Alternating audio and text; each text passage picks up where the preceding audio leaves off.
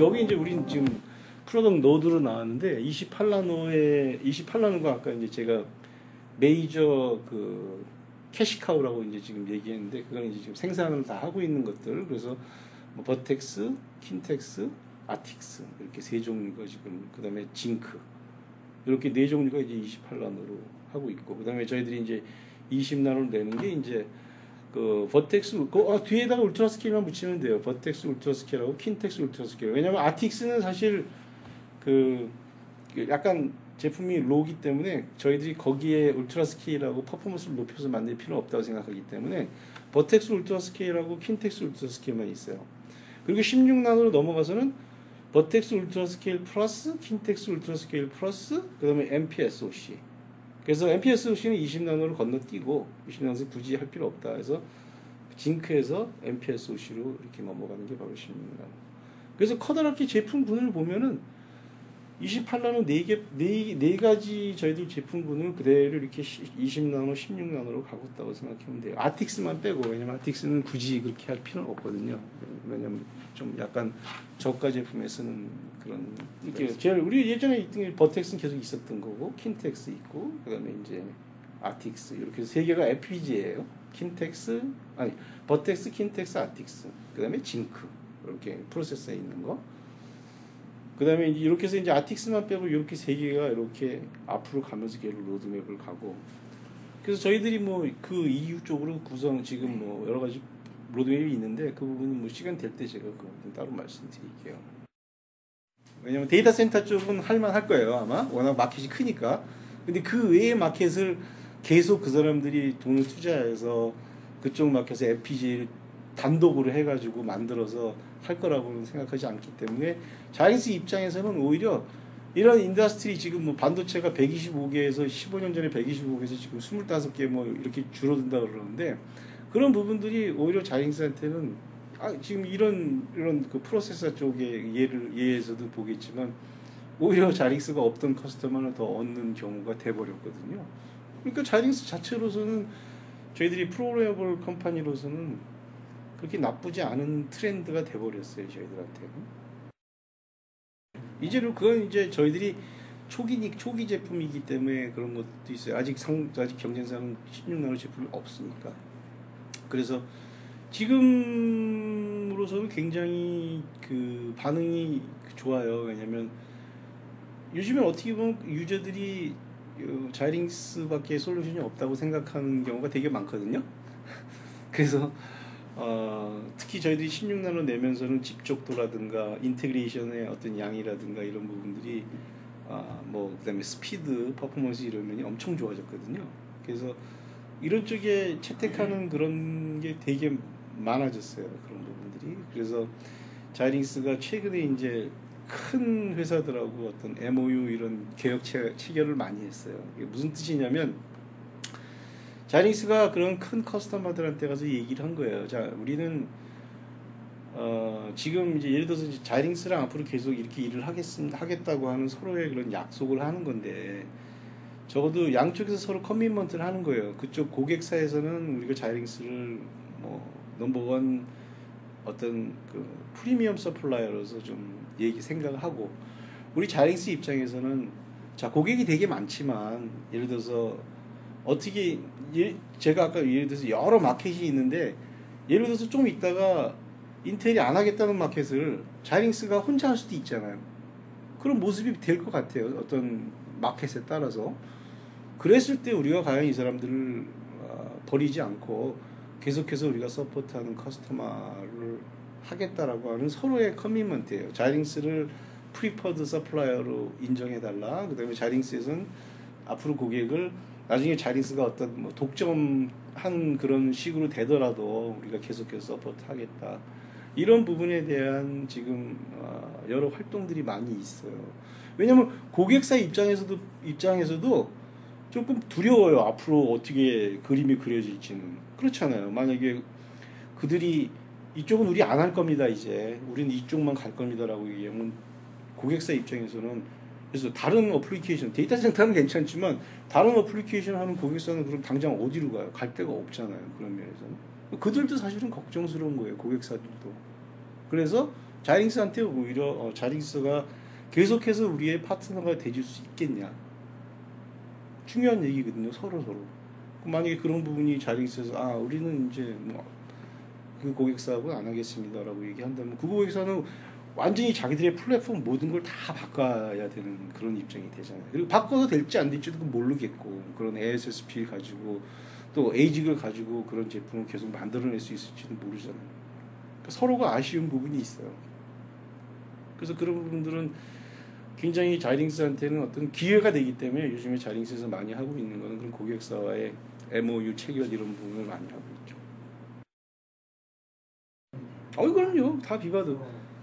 그리고 징크나 MPSOC가요. 그렇게 그렇게 큰 가격 가격적인 면에서도 그렇게 아주 비싸지도 않고 그렇게 큰 디자인이 아니에요. 프로세서가 들어가 있다는 거가 하나의 강점이지. 그래서 사실은 그 징크나 이런 그 MPSOC 들어가는 디자인이 아주 엄청나게 복잡한 그런 디자인들은 아니에요. 이 예를 들어서 뭐 지금 마이크로 프로세서 뭐 쓰는 마이크로 프로세서에다가 주변에 조그만 로직 같은 거 이렇게 해서 Zynq 뭐 그 제일 낮은 grade 뭐 Zynq 뭐 10 정도 한다 그러면 가격도 굉장히 싸요. 뭐 한 한 30불 이야? 어 그렇기 때문에 저희들은 그 Zynq 정도는 이제 거의 뭐 low cost 쉽게 쉽게 접근할 수 있는 그다음에 거기 뭐 ARM이라고 하는 그 하나 정도밖에는 물론 dual core이기 때문에 하나를 뭐 거기다 OS를 올려서 쓸 수도 있지만 사실 OS 안 써도 되거든요. 그냥 standalone 타입으로 그냥 써도 되기 때문에 아주 생각보다 복잡하지 않아요. 그 부분이. 그런 부분들을 저희들이 Vivado tool로 다 해주고 그다음에 소프트웨어, 하드웨어 이걸 뭐 한 플랫폼에서 다 해줄 수 이게 하기 때문에 그렇게 복잡하고 그러진 않아요. 근데 단지 이제 user가 OS나 이런 걸 올려보지 않았다 그러면 이제 그런 부분이 조금 아, 어려움을 그 겪긴 하는데 그런 부분들은 저희들이 국내에 이제 디자인 하우스들이 이렇게 ARM을 써본 그런 디자인 하우스들이 많기 때문에 그런 쪽하고 이렇게 협업을 하면은 그렇게 많이 어렵진 않아요. 대신에 그렇게 하나 함으로 해서 저희들이 뭐 자동차 지금 자동차에도 그런 징크가 들어가고 있는데 그게 플랫폼 디자인이 되고 나면 너무너무 좋아하는 거예요 자동차 회사 같은 데서는 왜냐면 정말 뭐 플랫폼을 마음대로 바꿔갈 수 있는 그런 게 되기 때문에 예전처럼 뭐 제네레이션을 바꿔서 한다든가 그다음에 ASSP는 이 라이프 사이클이 짧아가지고 뭐한 3년 5년 정도 되면 뭐 obsolete 시키고 또 다시 또 해야 된다는 이런 그러니까 그게 너무 좋아하죠. 28나노로 본다 그러면 Kintex하고 Zynq Kintex가 국내 사 industry도 좀 많이 바뀌었어요. 국내 industry가 예전에는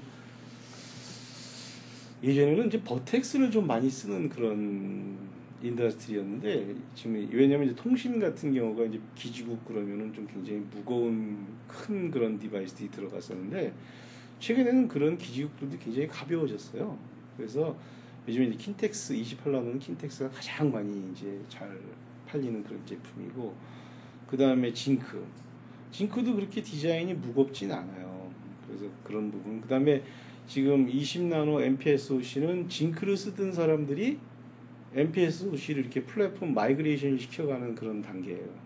그래서 이걸 쉽게 이렇게 가고 예를 들어서 Zynq하고 주변에 DSP나 이런 부분이 있다 그러면 MPSoC를 가면서 그 부분을 다 흡수해서 가져갈 수 있기 때문에 저희들이 그런 부분을 장점으로 두고 있죠.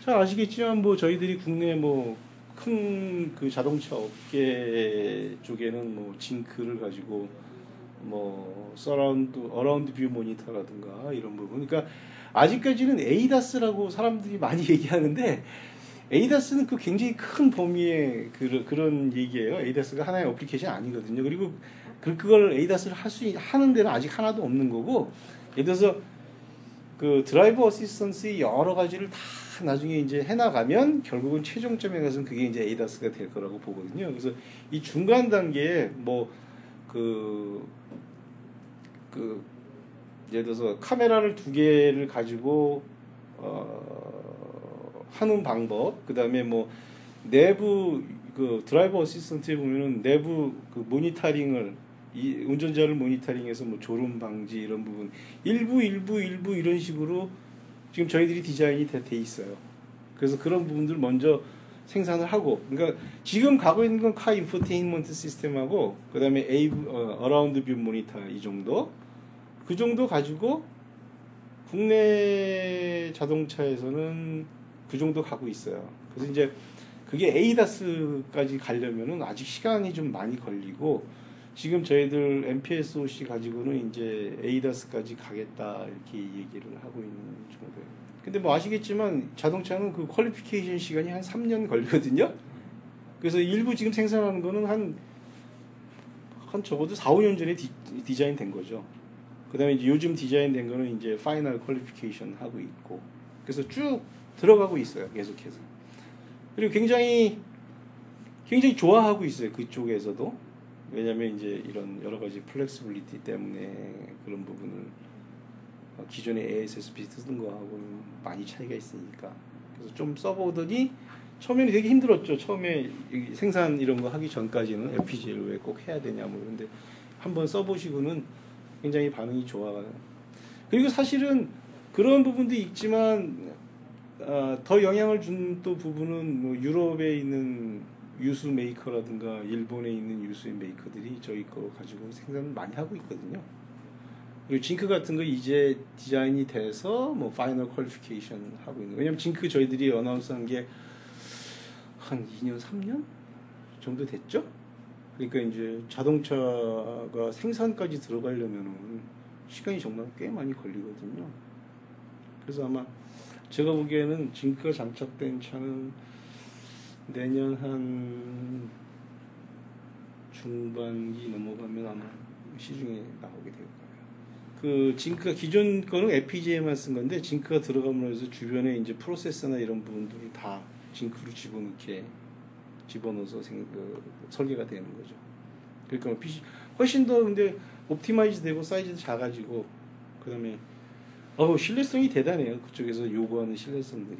근데 Xilinx 이미 뭐 일본이나 유럽에 뭐 엄청나게 팔고 있기 때문에 징크를 사실 징크가 디파인 프로덕이 디파인돼서 나온 것들 나온 이유 중에 가장 큰 거가 자동차 쪽이거든요. 그것도 이제 유럽이나 일본 쪽에 그 아주 큰 회사들이 징크를 같이 좀 징크를 해보면 어떻겠냐 이렇게 해서 아예 처음부터 프로덕이 디파인 된 거기 때문에 지금 그쪽에서는 엄청나게 지금 생산 많이 하고 있어요. OS는 가져오기 나름이에요. 상관없어요. OS는 아무 전혀 상관없어요. 그 OS를 어떻게 올리느냐 그것만 하면 무슨 소스. 단지 이제 경험이 있냐 없냐 OS를 해보냐 안 해보냐에 대한 문제는 있으니까 그런 거 저희들이 국내에 큰 디자인 같은 거 할 때는 이제 뭐 리눅스 쪽하고 국내에 들어와 있는 Linux하고 같이 이제 일을 했죠. 왜냐면 저희들도 이제 OS porting 같은 거는 익숙치가 않으니까. 그래서 그런 부분을 처음에 처음에만 조금 이제 그 시간이 걸리고 어떻게 할지를 몰라서 그랬는데 이제 뭐 저희들 충분히 그런 경험이 있기 때문에 적어도 그런 거에 대해서 이제 별로 걱정을 하지는 않아요. 국내에서는 이제 우리 그, 그 Zynq 전문가가 있어요. 우리 Xilinx Korea에. 그래서 그 친구가 뭐 미국에 가서 트레이닝도 받고 오고 그래서 아, customer한테 교육도 시키고 자기가 디자인 직접 해주고 이런 부분들을 하죠. 그다음에 자기가 뭐 안 되는 부분은 근데 우리 그 Xilinx에 있는 친구 하나가 굉장히 자기 블로그도 있고 그 엔지니어링 자기가 했던 그런 부분들에서 자기 블로그에 쫙 올려놔가지고 팔로워가 엄청나게 많아요. Zynq 팔로워가. 그래서 그런 부분 가지고 support 해주고 그 다음에 Zynq를 저희들이 하면서 이제 조금 그런 영업 방식을 좀 바꿔가지고 아무래도 그런 부분이 어려울 것이다라는 그 예측을 하고 대리점 같은 데는 이제 Zynq 전문가를 이렇게 따로 두라고 얘기를 했어요. 그래서 그렇게 해서 하나. 그 다음에 또 하나는 이제 저희들이 그 design house 파트너들이 있어요. Zynq를 많이 써보는 사람들이. 그래서 그 파트너랑 연결해가지고 이렇게 해주기도 하고.